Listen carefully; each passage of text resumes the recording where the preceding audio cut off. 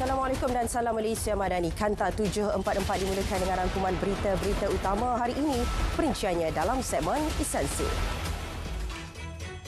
Pengasas rumah bonda Siti Bainun dijatuhkan hukuman penjara 22 tahun atas kesalahan mengabai dan menganiaya remaja perempuan Serindum Ground, Bella. Siti Bainun bagaimanapun hanya perlu menjalani hukuman penjara 12 tahun. Hukuman diperintah berjalan serentak bermula hari ini. Mahkamah turut mengarahkan perintah bon berkelakuan baik selama 5 tahun serta cagaran RM5,000 kepada hukuman yang dijatuhkan. Tertuduh juga diarah menjalani khidmat masyarakat selama 200 jam agregat. Kadar dasar semalaman OPR dinaikkan sebanyak 25 mata asas kepada 3.00%. Jawatan Kuasa Dasar Monetary Bank Negara Malaysia sebelum ini mengekalkan OPR pada 2.75% selepas empat kenaikan berturut-turut sejak Mei, Julai, September dan November 2022. Paras terendah OPR adalah 1.75% pada tahun lepas. Model pelaksanaan 5G ketika ini akan ditukar kepada dui rangkaian.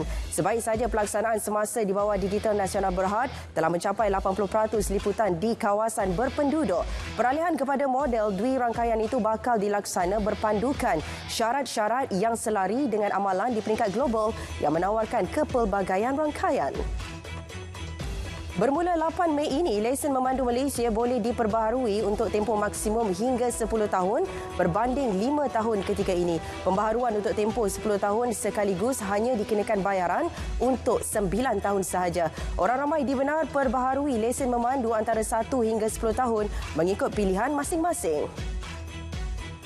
Pihak sekolah perlu menghentikan semua aktiviti luar bilik darjah termasuk co-curriculum serta penganjuran sukan tahunan buat sementara waktu berikutan cuaca panas. Walaupun tiada sekolah ditutup namun pihak sekolah mesti mengambil langkah berhati-hati dalam keadaan cuaca sedemikian untuk mengelakkan sebarang insiden tidak diingini.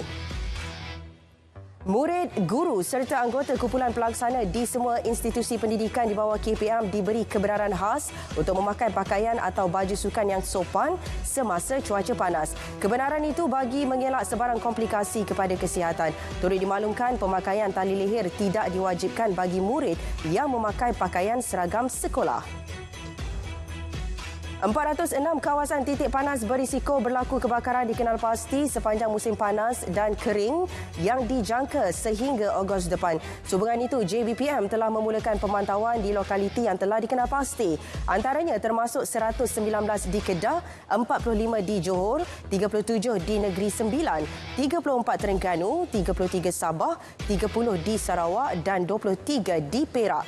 Juga 22 kawasan di Selangor, 15 di Kuala Lumpur, 13 di Pulau Pinang, 10 di Pahang, 9 di Kelantan, 7 di Labuan, 6 di Melaka dan 3 di Perlis. Manis dilancarkan khusus bagi menangani isu kekurangan gula di Kelantan dan Terengganu. Operasi khas di dua negeri itu dilaksanakan selama seminggu bermula hari ini. Masalah kekurangan gula yang dilaporkan berlaku hampir dua minggu dijangka dapat diselesaikan dalam tempoh seminggu lagi. Justru pemborong diingatkan supaya mengagihkan bekalan dengan cepat termasuk di kawasan luar bandar. Seorang wanita tempatan berusia 40-an ditahan serta dikompaun kerana disyaki melakukan pencatutan dengan menjual gula melebihi harga ditetapkan. Turut disita 51 kg gula selepas menerima aduan awam di premis runcit di Kampung Rawa Becah Laut, Tanah Merah, Kelantan. 39 kes kecederaan akibat terkena mercun dicatatkan di Kelantan sejak 25 Mac lepas sehingga hari ini. Majoriti kes kecederaan melibatkan golongan kanak-kanak berusia antara 9 dan 10 tahun. Justru, orang ramai terutamanya ibu bapa dinasihat mengawasi anak masing-masing agar tidak bermain mercun. 1030 kemalangan jalan raya dicatatkan di Pulau Pinang sepanjang OP Selamat ke-20 meningkat 3% berbanding OP Selamat tahun lepas. Manakala kemalangan maut pula merekodkan penurunan 67%.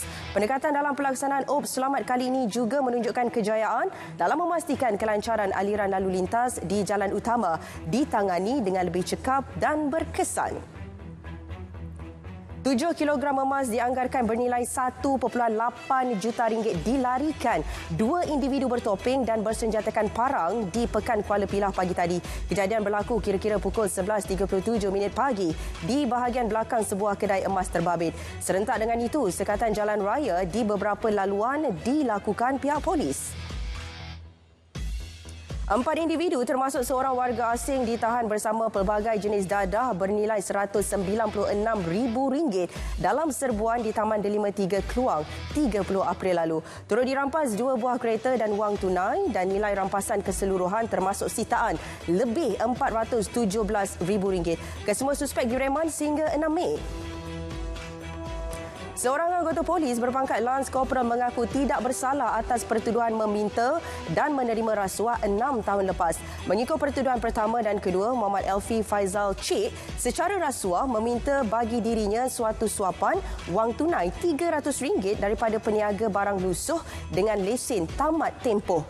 Bagi pertuduhan ketiga, tertuduh menerima suapan RM400 daripada orang yang sama untuk tidak mengambil tindakan terhadap perniagaannya. 9 Jun, sebutan semula bermula kes.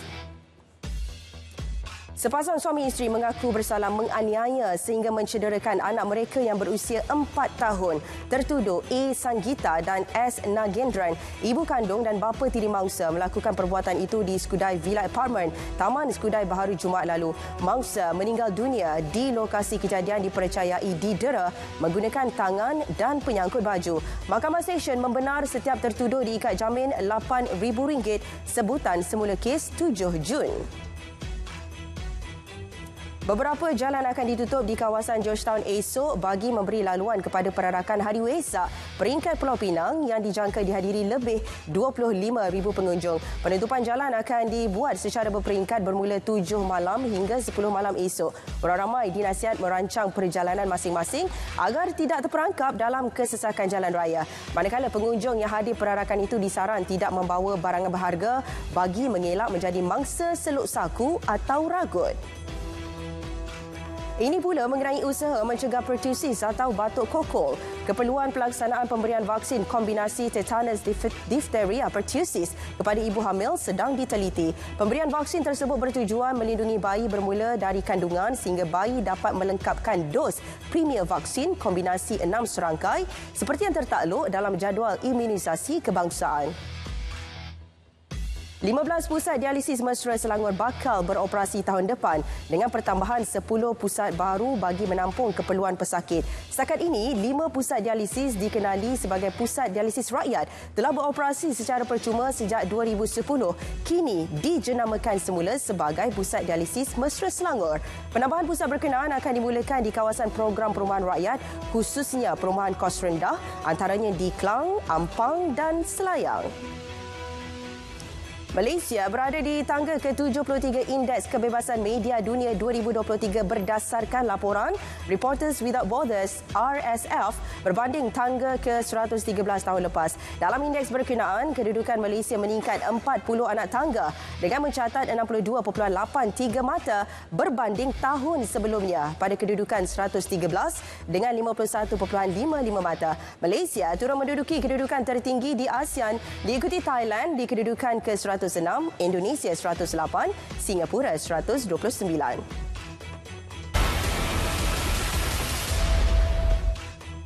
Kedua-dua pihak bertelagah di Sudan secara prinsip bersetuju melaksanakan genjatan senjata selama tujuh hari antara 4 hingga 11 Mei ini. Terdahulu beberapa genjatan senjata yang dipersetujui sejak pertempuran tercetus pada 15 April lalu tidak dipatuhi.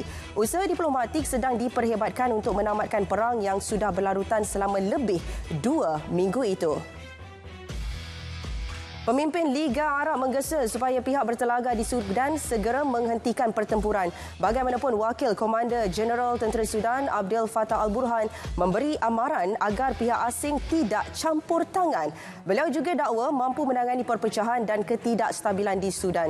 Pertempuran sehingga kini mengakibatkan kira-kira 334,000 penduduk menjadi pelarian. Francisco Oropeza, warga Mexico yang melarikan diri selepas menembak lima sekeluarga termasuk kanak-kanak 9 tahun ditahan polis di rumah kakaknya. Oropeza ditemui bersembunyi di bawah timbunan pakaian dalam almari di rumah berkenaan. Tertuduh didakwa dengan lima pertuduhan membunuh tetapi jemaah juri boleh mengenakan pertuduhan lebih serius. Rakyat Kanada yang mengikuti istiadat pertabalan Raja Charles III dinasihat lebih berwaspada terhadap ancaman serangan pengganas. Nasihat perjalanan kerajaan Kanada beri amaran sasaran kegemaran pengganas adalah bangunan kerajaan termasuk sekolah, tempat ibadat, lapangan terbang dan tempat awam seperti kawasan tarikan pelancong, restoran, bar dan pasar. Perkhidmatan Keselamatan UK menjangkakan ancaman keganasan di England, Wales, Scotland dan Ireland Utara. Sempena pertabalan Raja Charles III Sabtu ini, tahap keselamatan di London terus dipertingkat. Ia susulan insiden pada Selasa, seorang individu ditahan selepas melemparkan objek dipercayai cartridge senapang patah di pekarangan Istana Buckingham. Suspek ditahan kira-kira pukul 7 malam waktu tempatan. Siasatan lanjut sedang dijalankan. PKS serta vendor di disorang sentiasa mengikuti perkembangan terkini dan amalan terbaik dalam reka bentuk dan pembuatan komponen kenderaan elektrik EV untuk kekal berdaya saing. Dengan elektrifikasi, komponen kenderaan akan lebih mudah dalam pemasangan tetapi lebih canggih dalam reka bentuk dan pembangunan. Dasar Otomotif Nasional NAP 2020 memberi penekanan kukuh kepada membangunkan penyelesaian mobiliti baru yang lebih cekap, mampan dan berteraskan pelanggan. Pameran otomotif terbesar Malaysia Auto Show 2023 kembali lagi untuk edisi 2023. Pameran berlangsung dari 4 hingga 7 Mei bertempat di Maib Serdang. Untuk perkembangan lanjut di lokasi, kita lintas langsung bersama Jabatan Robert. Silakan. Baik, terima kasih rakan penyampai. Kini saya berada di Dewan di Maib Serdang, lokasi penganjuran Malaysia Auto Show 2023. Ah, sebelum ini telah pun tergedala lebih dua tahun. Kali terakhir diajukan pada tahun 2019 dan tergedala akibat penularan COVID-19.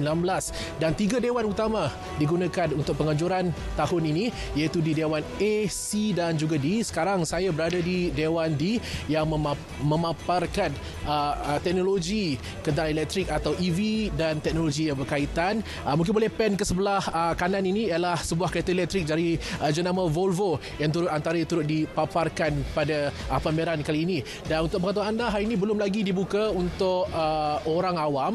Baik, akan bermula esok 4 hingga 7 hari bulan.